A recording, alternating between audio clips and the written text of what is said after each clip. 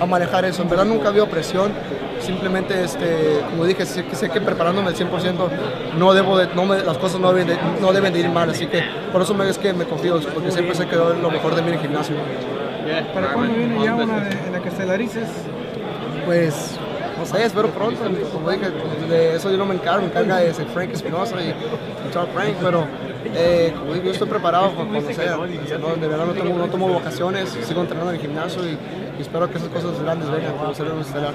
Obviamente tu, tu cuerpo va creciendo, Oscar. ¿En qué, ¿En qué división te piensas establecer ya? Pues ahorita me siento fuerte en pluma, fuerte en pluma. Este, sé que puedo dar a 122, me tendría que sacrificar un poco más, pero pues ahorita pues, este, siento que pues, estoy, estoy estoy este, creciendo como profesional y me siento fuerte como la en pluma, así que no veremos qué pasa, veré qué tiempo lo di, si decían, si mi cuerpo ya no puede dar a 122, pues tendré que quedarme en pluma.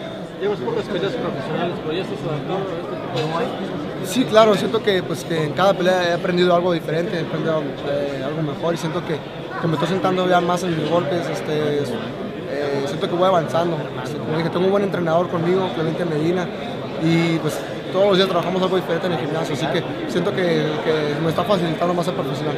¿Tus peleas en el profesional han sido como las imaginaste? Sí, eh, en verdad cuando subo al ring no, no, pienso en un knockout, trato de, de, enfocarme a los seis rounds. Eh, mis amigos, mis compañeros este, siempre me lo habían dicho, este, como Tyson Márquez, Juan Estrada, Orlando Salido, siempre me decían que, que nunca busque knockout, que knockout siempre va a venir solo. Y eso es lo que me subo con esa mentalidad, irme a los seis rounds, irme a distancia, tratar de, pues, de que las cosas pasen solas. Y pues gracias a Dios han terminado todos por knockout. Oye, ¿para cuándo verás una posibilidad de disputar un título regional? Eh, no sé, eh, pienso que eso se encarga mi manejador pero como siempre les he dicho, pues, este, si ellos me dicen que mañana peleo por el título, pues estaría dispuesto a hacerlo.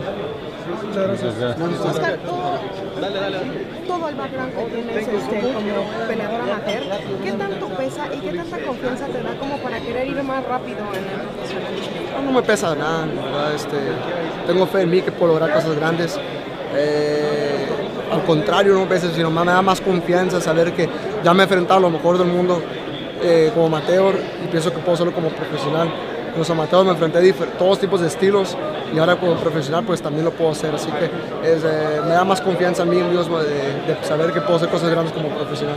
Con toda esa experiencia acumulada, ¿qué tanto te como rápido? Vaya, ahorita son seis peleas como profesional y con toda esa experiencia podrías tener como. Pues sería un sueño esa realidad, pues, pelear por un título, pero pero no me quiero adelantar, ¿no? Es muchas veces comete el boxeador el error de, de, adelantarse, tiene una pelea encima y, y, está pensando en dos, tres peleas des, después y es cuando llevan perdiendo, así que primero me tengo que concentrar en esas peleas, estoy tomando paso por paso, pelea por pelea, veremos que ya después de pelear con el favor de Dios salir con la mano en alto, pues ya veremos otras peleas, este, pero sí me gustaría y es mi sueño pelear por un campeonato mundial.